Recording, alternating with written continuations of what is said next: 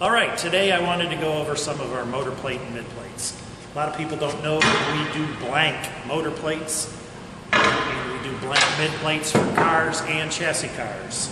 Um, this right here is a blank motor plate for a small block Ford with a timing chain cover. We also make blanks for small block Chevy, big block Chevy, LS, small block Ford, big block Ford, small block Ford with a belt drive, big block Ford with a belt drive. We've got them all. We do blanks and we do mid plates. Here's one right here that would be used in a chassis car. You would put it up against your tubular mid frame and trim off the excess. One thing that we do have a lot of and sell a lot of are our motor plates for Mustang, specifically for the 79 through 04 Fox Body SN95 and New Edge. What makes these plates great is they come with all the tabs and hardware that you need to install them, but one of the good things is, is we have a tab kit. So with this tab kit, this tab right here is welded onto the bottom of the frame rail, and then the motor plate tab is welded onto the side of the frame rail kind of like this. And what that does is it sets your crank center line. It optimizes your crank center line so there's no guessing. So when the bottom of our motor plate is at the bottom of your frame rail lined up with this, it'll set your crank center line for 13 inches on a small block Ford and then you can raise or lower the car to adjust that where you need it.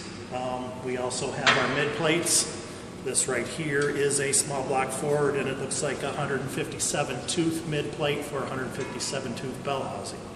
We have them for 164, 157.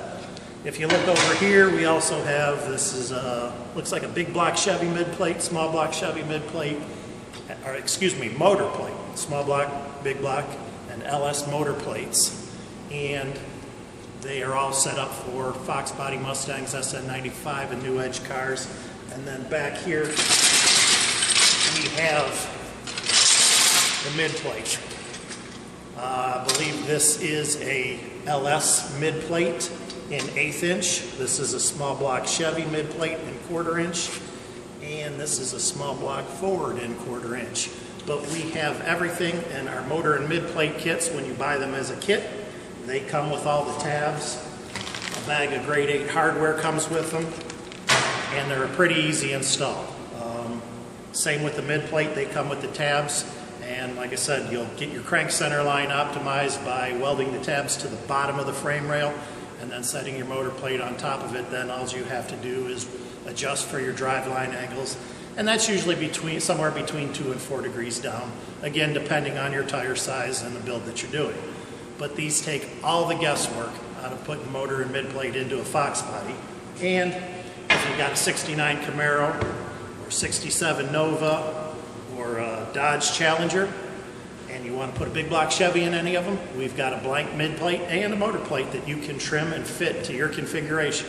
So if you want to check out everything that we have, check it out at www.teamzmotorsports.net. Thanks have a great night.